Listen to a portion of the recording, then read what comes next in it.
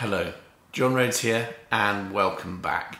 Big hello to all my subscribers, and for those of you that haven't subscribed yet, why not do it now and join us for some more endodontic fun? In this video presentation, we're going to be looking at post removal. That's simple techniques for removing posts during root canal retreatment, for instance, or when perhaps a post is completely fractured and you need to remove that fragment from the root canal. I'll show you some techniques using ultrasound that are predictable and reliable. I hope you enjoy it.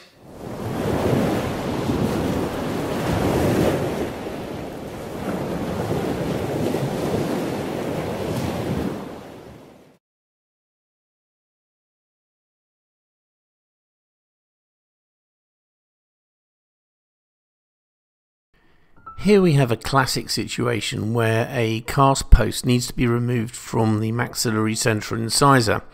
The key really to getting these posts out is to undermine them if at all possible and then use a piezoelectric ultrasonic to vibrate the post, break up the cement and loosen it.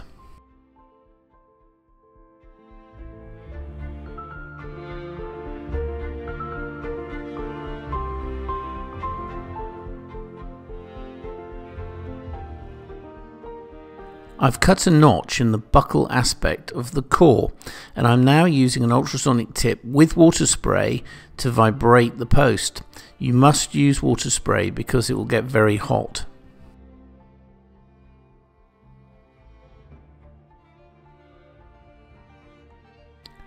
After a few seconds I realised that the cast post wasn't budging and so I cut a second notch at the level of the dentine and I'm now vibrating at this point.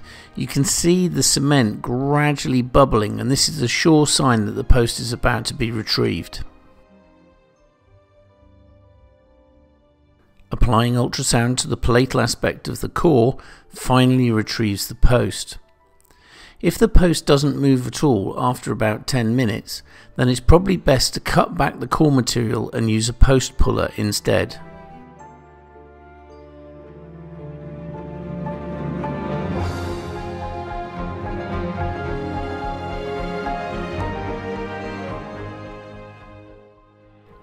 Another great example here of a post crown in a maxillary right central incisor. The preoperative radiograph shows a periapical abscess, a poorly condensed root filling, and the post tip is below osseous level. This is not ideal.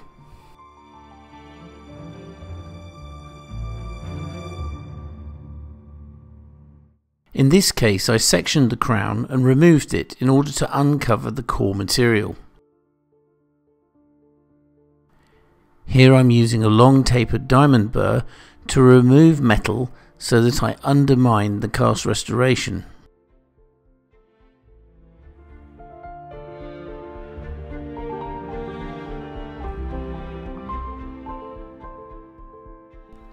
In this case, I'm vibrating the cast post and core with a Start-X 4 ultrasonic tip using water spray and high power on the piezoelectric ultrasonic unit.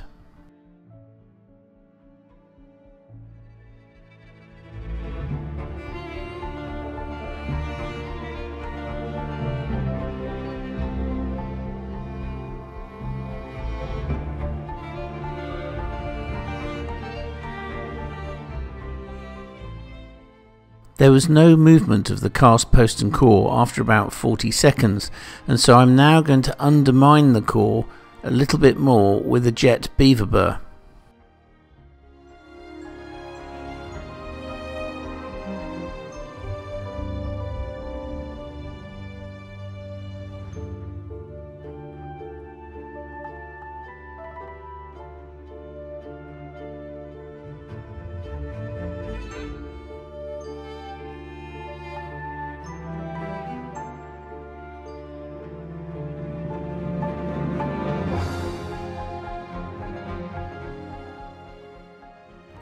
Application of the Start-X 4 ultrasonic tip proves successful and the post core is removed.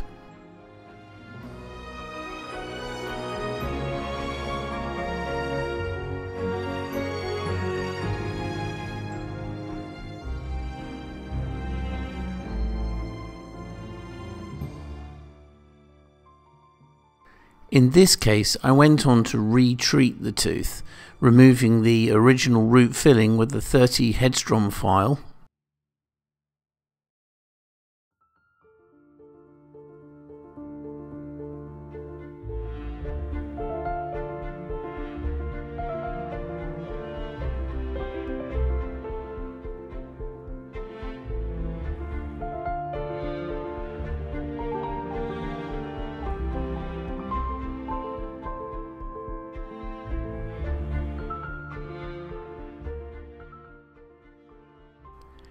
Here I'm gauging the size of the post hole for the placement of a fibre post.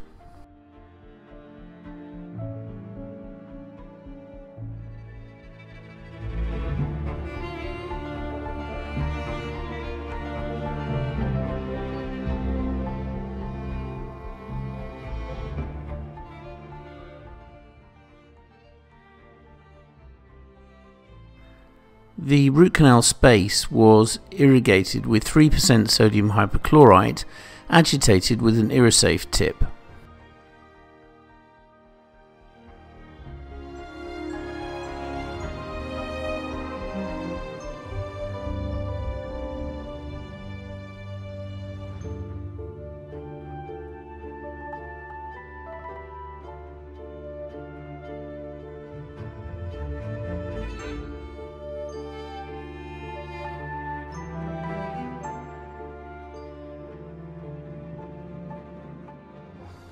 After drying the root canal with sterile paper points, I placed a collagen matrix at the apex and then backfilled with Obtura GP.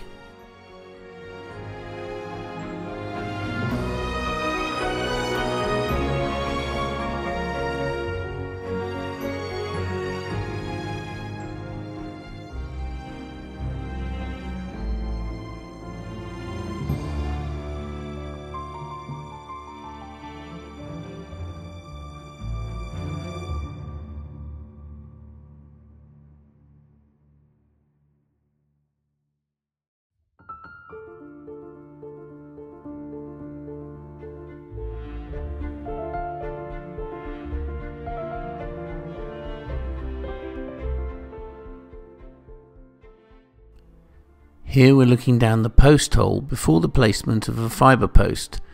In this case the tooth was then restored with an acrylic temporary restoration.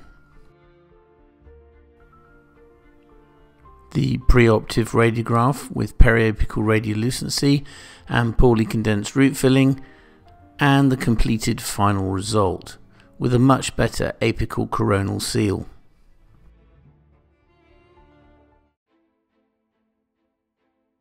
We're now looking at a reliable and predictable technique for removing fractured metal posts.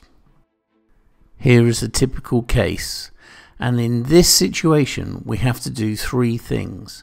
The first thing is to make enough space, but conservatively, so that we can then apply ultrasound. We need to apply the ultrasound to the lateral aspect of the fractured post. We can then retrieve the post if it's not removed with ultrasound. In this case I'm going to use a Start-X 3 tip and the Masserann trephine.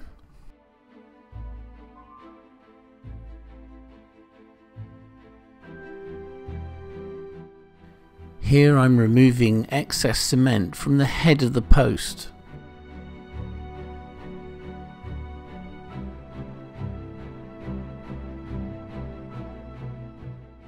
With cylindrical posts, a Masserann trephine is a very conservative way of removing a little bit of cement and dentine from around the head so that you can then apply ultrasound to the lateral aspect.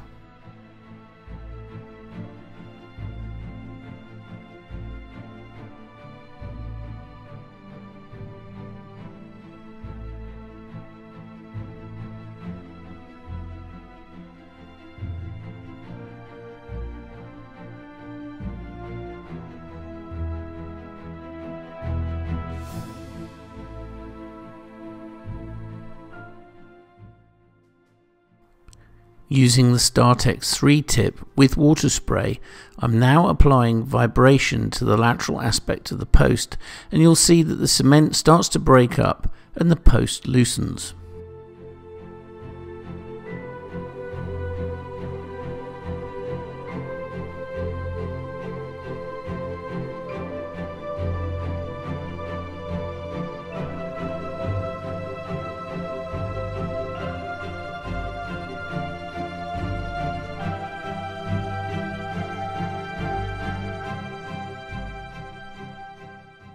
In this case, the post was retrieved with the smaller Masserann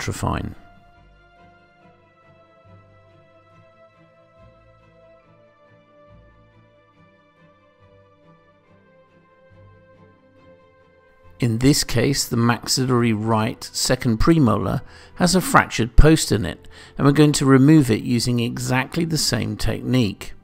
I've used a split dam technique to isolate the tooth, and now I'm going in with the Start-X 3 ultrasonic tip to remove excess cement.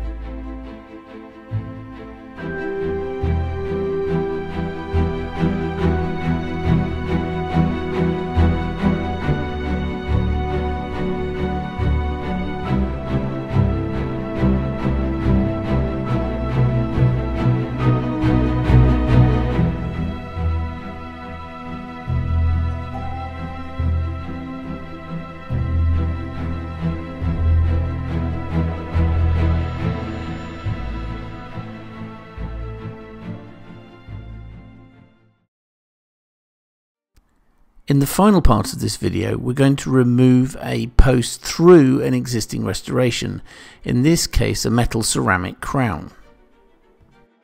You can see the post in the distal canal and there's a periapical radiolucency at the apex of the mesial root. I don't often show you this but this is my rapid rubber dam placement technique in which you can get a rubber dam on the tooth and fully isolated in a matter of seconds.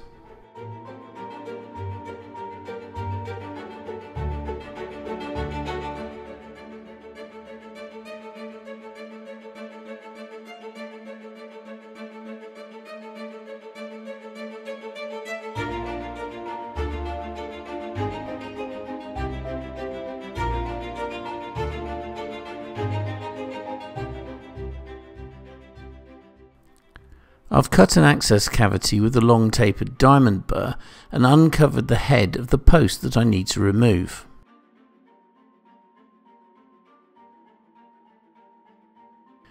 In this case I'm going to use a Start-X 3 ultrasonic tip with water spray to remove core material from around the head of the post.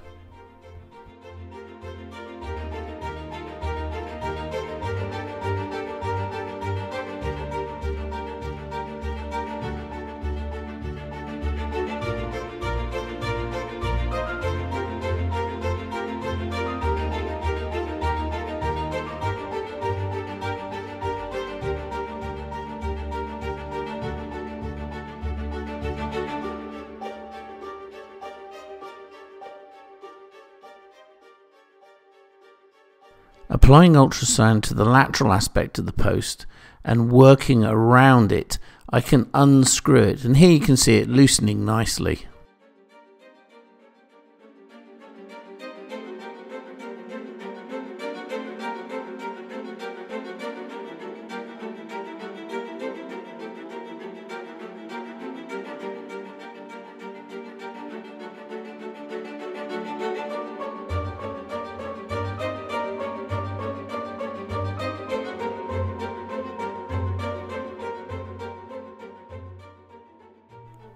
Having removed the post and the gutta percha from the root canals with the Gates Glidden burr, I then went on to retreat the tooth. In this case, I'm flaring the coronal aspect of the mesial canals using a ProTaper SX instrument.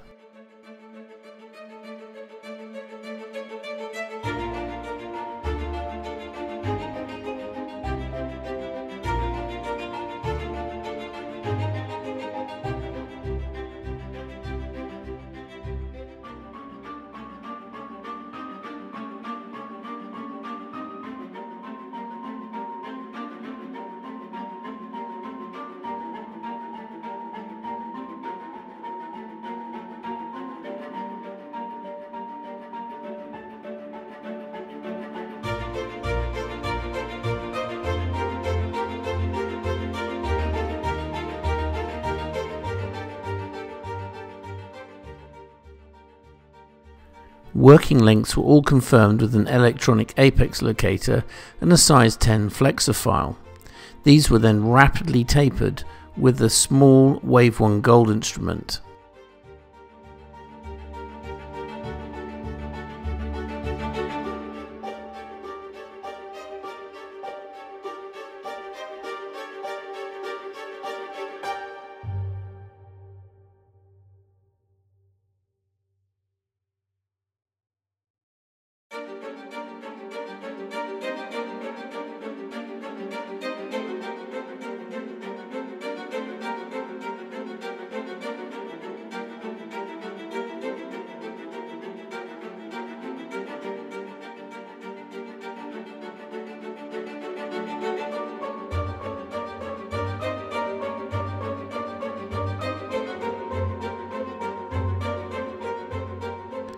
The case was irrigated with 3% sodium hypochlorite and 17% EDTA. The hypochlorite solution was agitated with an ultrasonic Irrisafe tip.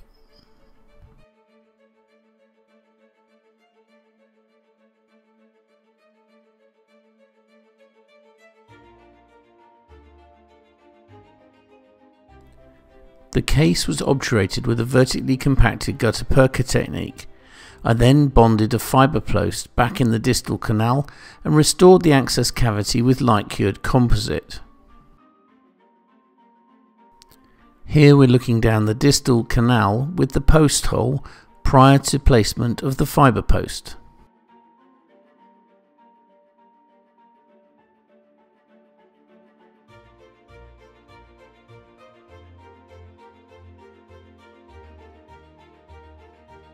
Here's the final composite restoration in the access, bonded in place using a porcelain repair kit.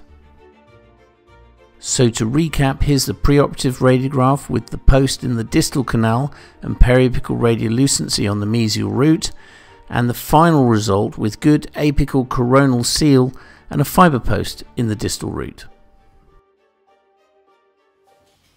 Well, I do hope you enjoyed that presentation. Stay tuned because there's much more coming up. Don't forget to subscribe if you haven't already, and above all, enjoy your endo.